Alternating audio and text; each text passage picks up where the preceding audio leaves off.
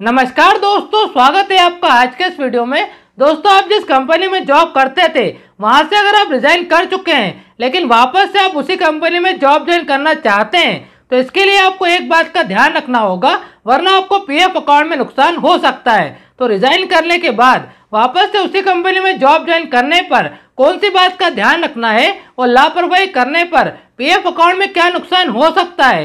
आज के इस वीडियो में मैं आपको ये सारी बातें बताऊँगा। तो चलिए शुरू करते हैं आज का वीडियो और वीडियो शुरू करने से पहले आप सभी से रिक्वेस्ट है कि इस वीडियो को अभी से कर दीजिए लाइक और चैनल को भी कर लीजिए सब्सक्राइब क्योंकि ई पी से जुड़ी जानकारी आपको इस चैनल पर मिलती रहेगी। दोस्तों, वीडियो में आगे बढ़े। इससे पहले मैं आपको इस सवाल का जवाब दे देता हूँ कि जॉब से रिजाइन करने के बाद आप वापस से वही जॉब ज्वाइन कर सकते हैं, इसमें कोई परेशानी नहीं है।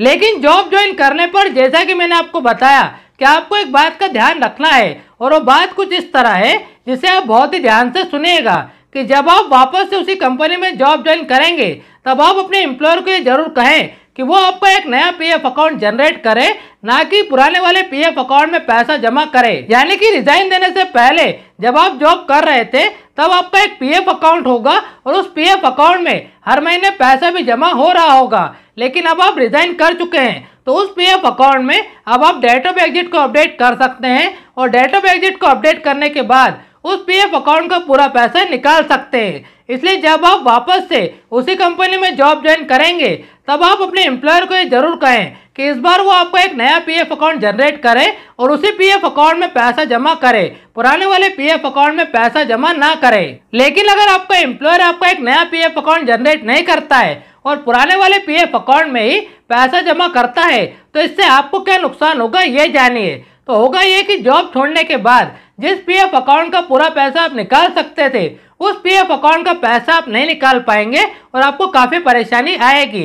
इसके लिए आपको काफ़ी परेशान होना पड़ सकता है और पीएफ ऑफ़िस और एम्प्लॉयर के ऑफ़िस के चक्कर भी लगाने पड़ सकते हैं। और ऐसा होता है, ऐसा मैंने काफ़ी पीएफ मेंबर्स को परेशान होते हुए देखा है। तो ऐसी किसी भी परेशानी से बचने का सिर्फ़ एक ही तरीका है, और वो ये है कि रिजाइन करने के बाद अगर आप वापस से उसी कंपनी में जॉब ज्वाइन करना चाहते हैं तो आप अपने एम्प्लॉयर को बोलकर अपना एक नया पीएफ अकाउंट जनरेट करवाएँ और उसी नए पीएफ अकाउंट में पैसा जमा करवाएँ।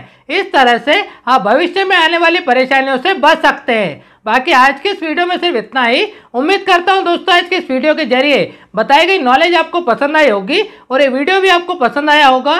वीडियो अगर आपको पसंद आया हो तो लाइक ज़रूर करें। चैनल पर अगर आप नए हैं तो चैनल को भी सब्सक्राइब ज़रूर कर लें, क्योंकि ई से जुड़ी जानकारी आपको इस चैनल पर मिलती रहेगी।